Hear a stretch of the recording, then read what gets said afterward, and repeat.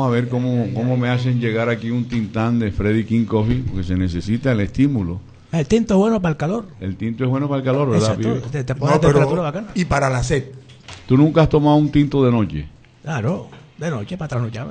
No, pues no, En una época ¿Por qué trabajé, va- una época trabajé celador en un parqueadero. Estaba pelado.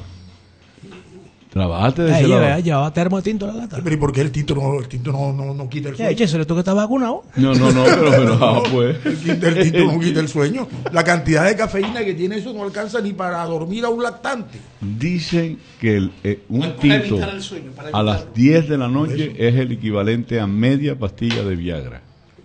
Porque hay una aceleración, lógicamente. ¿A qué hora? Una vez, disculpe. No, no, no, tiene que ser entre las 10 y las 11 de la noche. Un, No le tinto, diga- un tinto cargadito. No le digas eso al. Sí, por enseguida. Ahora va, a No- re- no ahora le va a rendir al- menos el tinto en la casa, don Pepe. Sí, pero no le digas eso al amigo que se echó la papaya verde encima porque acaba no. con el tinto del barrio. El chaco señor que le dijeron que la papaya y que La papaya verde. templaba el, el temperamento. Se metió medio camión de papaya. Llegó con la, la boca quemada. Tú sabes que la leche de papaya quema. Lo vieron metiendo un- una camioneta de papaya en Rever allá. En, él vivía aquí por la 63 con 68. En, en Rever. Tiene que- por qué Le saberlo. dieron el, en Rever metió la camioneta de papaya verde, verde. Y tiene por qué saberlo porque el Chaco me dijo que ustedes tenían un apartamento allá en, en la 35. Compartían el apartamento. No, no, eso era Edgar Perea que tenía un apartamento. Nosotros no, nunca No, Chaco me dijo eso. No, no, Edgar Perea tenía un apartamento Por y a veces... por la hel- heladería americana Sí, sí. del centro. El dueño de ese apartamento era Edgar Perea. ¿Campeón? Oye, saludos para Edgar. Ayer tuve la oportunidad de saludarlo, lo vi aquí, está en el hotel. Vino de- Caballero. vino trabajando, vino a ver un partido aquí, como en los viejos tiempos. Claro. ¡Caballero! ¡Oh, cañón! Porque él siempre me dijo con cañonazo. Una vez peleamos por esa vaina, pero ya, Oye, es pero el una institución. Perea tiene un cuento fabuloso, ¿viste? Ajá. ¿Sabes que por ahí hay una pregunta, una pregunta pendeja, pero que friega la paciencia? Oye, ¿tú qué prefieres que se te muera o tu mamá? Hay que hacer que va a decir, se va a la vieja que ha vivido mucho ya. Vivió. Hay que admitir que el hombre, aparte de un gran narrador, tiene recursos porque en alguna oportunidad estaba comentando una pelea del macho Camacho. Ajá. Pero él no decía el macho, sino el gato Camacho. Es que ese gato Camacho tiene una velocidad, caballero. Es que ese gato Camacho. Y, y Altamira, que trabajaba aquí, me dice, mira el negro vergajo ese que. Y que el gato Camacho, cuando él. Vamos a llamarlo. Y llamamos a él y me dice, ay, dígale a ese negro que cómo va a desdibujar la imagen del boxeo, que eso no se llama, no es el gato Camacho, es el macho Camacho. Y el operador como que le dijo, estos oyentes nuestros no me dejan quedar mal, caballero, me han corregido, es el macho Camacho. Aníbal, ¿me oyes? Pero te oigo de aquí allá a Pekín. Mierda, muy lejos. Te oigo a Pekín. Fíjate, yo hablo de cualquier lugar del mundo. Si oye, aquí, ¿dónde estás? ¿En qué parte estás tú? Yo, aquí en mi casa. ¿Que queda dónde? ¿Ah? ¿Dónde queda tu casa? Oye, estoy aquí, yo estoy aquí en mi casa. Y cambié de teléfono para ver si era el teléfono y nada. Electricaribe, Metrotel. Bueno, este es Metrotel. ¿Ah? Este es Movistar Telefónica. Ah, pero este es el celular. No, no, yo es de- inala- en inalámbrico. Mierda, es que en el inalámbrico allá por tu casa, como si- seguramente. Sí, pues cogí el, el eléctrico y nada. ¿Y dónde vives tú, Aníbal? ¿Ah? ¿A dónde vives tú? ¿Dónde vivo? ¿Aló? Sí, ¿en qué parte de Barranquilla tú vives? Aquí en frente al estadio metropolitano. Ah, en la Ciudadela, 20 de julio. Dice, Eh. favor revisar Sí, línea. pero te oigo despacito, desde allá en casa el carajo. Oye, me arreglan ese problema. Hay que llamar a la, a la Metrotel o a A la. Telefónica. Sí, no, que, que, que, que sea, que sean un poquito más, más, más serios. Oye, más serios hablen. Es güey. cierto, porque esa vaina uno quiere ir a hablar y no, y no, y no, y no lo dejan. Y no lo dejan. Ahora, Ya, ahora sí me estás oyendo. ahí, ahí, te, Ahí. pues, está subiendo poco a poco. Ahí, ahí, ahí, ahí. Es que se demora en llegar sonido a la casa de Aníbal. Se demora. Bueno, que alce Aníbal, estábamos hablando del arreglo que le hiciste al Dominique, Niki, Niki, eso. Eso tú tenías tus tragos adentro. ¿No ves cómo se le ocurre esa vaina? No, porque es que yo grabo sin, sin necesidad de esa vaina, no meto droga ni meto bebida para grabar. Pero ¿por qué? Eh, Acuérdate que Dominique fue un- una canción muy, muy, muy, muy cristiana, muy espiritual. y. Y eso no tiene nada que ver que yo lo haya grabado pero sin, sin trago.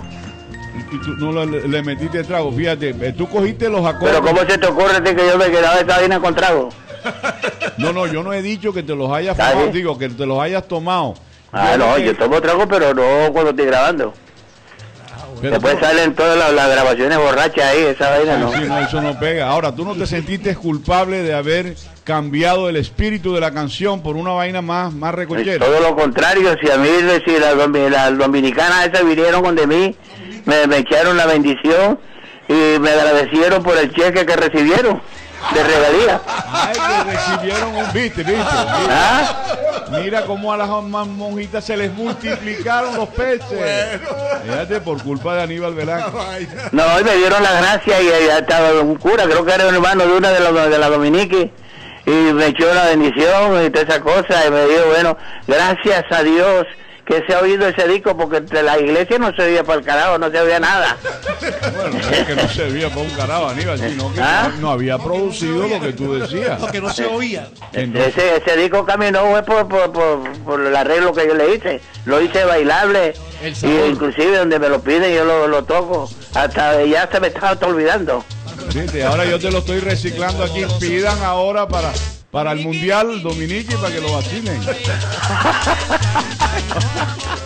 Echa, ahora en el Mundial. ¿No, no has hecho nada para el Mundial, Aníbal? No, no he hecho nada, mi hermanito. He estado en gira artística. Estuve por allá por Europa. Estuvimos en Francia, en Alemania, en Grecia. Estuvimos en Atenas. Estuvimos en Holanda. Hicimos un recorrido. Claro que esa vez no le dieron propaganda, no porque no le dieron la gana de aquellos que, que me vieron por allá. Y no le dieron propaganda. ¿Y, y- y- y en, qué, en qué país te, cuál fue el país que más te gustó? Bueno, ninguno, porque nada más duraba en la presentación y de ahí tenía que coger avión para otro sitio. No te dejaron ni conocer la Ni torre. conocí de pura vaina las mujeres que bailaban la música. Lo tenían encerrado. Y la torre, ¿no conociste la torre infiel en París? ah, sí, estuve ahí al pie. Pues tú sabes que ahí cerquita queda el aeropuerto, en Francia. Bueno, el Orly, el del Orly, local. Eh, no, no, no, no pude ni siquiera tomarme una fotografía porque no tenía que estar pendiente que el avión, que ya no íbamos a meter en el avión, que íbamos para Grecia. Oye, ¿y te pagaron en euros o en dólares? Euro, manito, que esa vaina es lo que fue lo, lo único que me gustó. Ay, no, Lo- ah, Oye, oye. oye, oye, Aníbal, Fíjate. ¿qué, qué era la vieja cachiporra? La vieja Cachifora era una vieja que se, se metió en el bus porque yo era jefe de propaganda de Gaseosa Luz. Y ese día me quedé atollado yo en la camioneta y, y- y regresé en un bus a coger el, eh, para que me dieran una grúa para sacar la camioneta, allá de la fábrica, de carajo de Gaseosa Luz. Pero cuando venía para acá me encontré con Carlos Román y venía la vieja esa eh, metida entre el bus hablando del, del marido, del vecino, del tío, del primo. Y dice, entonces dice, dice Carlos Román, ahora parece una cotorra esa vieja. Y le clavamos a la vieja cachiporra. Aníbal, Ah, 5 para las 12. 5 para las 12 es el disco que más eh, que más ha gustado internacionalmente, se puede decir. Claro, todo el mundo. Yo estaba alternando en, en, en- como en Nueva York, con, eh, alternando con los, el grupo Alquimia. Alquimia, sé, de los claro. gemelos estos, Alquimia. Sí, sí, sí, sí, sí. Y entonces era el día que era 29 de, de diciembre. Y entonces estábamos tocando y había gente, mujeres llorando, con- se acordándose que puro latino ahí de llorando. Y entonces se acercó una mu- yo es una anécdota que tengo yo ahí. Se acercó una muchacha como para pa, pa, pa acariciarme, besarme. Yo estaba de corbata roja, como Uy, con ¿cómo? su camisa blanca y me pesó la corbata. Se me rodó el nudo y me estaba ahorcando. y yo no podía moverme ni, ni quitármela porque tenía el acordeón puesto y el nudo bueno puesto y no podía cantar, imagínate tú. Y tuvieron que quitármela porque ella como que trató de, de jalarme así para besarme, o quién sabe qué iba a hacer. Verdad. Se me rodó el nudo y me estaba ahorcando. Esa es la razón por la cual tú tienes 48 hijos. Bueno, así dicen por ahí, pero yo no joda, yo no creo, porque yo los, los hijos que tengo son los, tengo dos, uno que se llama Julieta y otro se llama José. Y los otros 46 no lo Los van. otros no, ni siquiera me llaman por aquí a decirme, no joda, ese papá, ¿cómo está? No joda, de vez en cuando, que siquiera. Bueno, hay uno que sí. Y aquí está una que también tengo yo, que es la, una de las mayores. Casualmente ahorita llegó a visitarme. Ah. Se llama Eunice, la que estaba con, haciéndole coro a Nelson. Ah, que también les gustó la música. Sí, ella es cantante también. Ah, bueno. Oye, hay para finalizar, Aníbal, hay una, hay- alguien me contó un día que tú te encerraste con tres mujeres. ¿Con quién? ¿Con quién? Con, que, que te encerraste con tres mujeres. No, hombre, esa vaina no se puede hacer. Y esa vaina ya, esa vaina ya es una, ¿cómo se No, llama? no, no. Pernicia, esa vaina se llama pero un ya. momentico, espérate. No digo que se pueda hacer, sino que tú la hiciste hace muchos años cuando No, no, no, no, nunca lo hice. Ah, No, ahora sí, poste de caluria, que. Nunca lo hice. ¿sabes cómo es la gente? Ah, Ahora, ajá. con esa popularidad que tú tenías y las mujeres tratando de... Oye, esa vaina está en el aire. ¿Ah? Ah, Que- tranquilo, tranquilo. Yo no creo que esa, esa vaina, esa, esa conversación esté, esté en el aire. Claro que estamos al aire. Ah, pero estás mamando gallo. Aquí, aquí no, No, estamos no, no. acusándote de nada, estamos preguntando cosas que se dicen en la calle, no te estamos acusando de eso. No, no, no, mi hermano, nunca lo he hecho. Nunca, ah, bueno, ya viste. Nunca lo he hecho. Son bolas de la gente No, que, que me haya acostado con una una noche y después el, día siguiente con otra y eso es una distinta, pero tres mujeres en el mismo tiempo no. No, no, no. no. Bueno, que quede claro, ah, porque como es la No, gente- que quede claro, porque Y- eso no se puede hacer. eso va bueno, caminando no sé, hay personas que lo hacen, pero yo no lo he hecho no, nunca. y la doña tiene un bate en la mano ahí al lado. Hola, pero ustedes son capaces de meter a uno preso.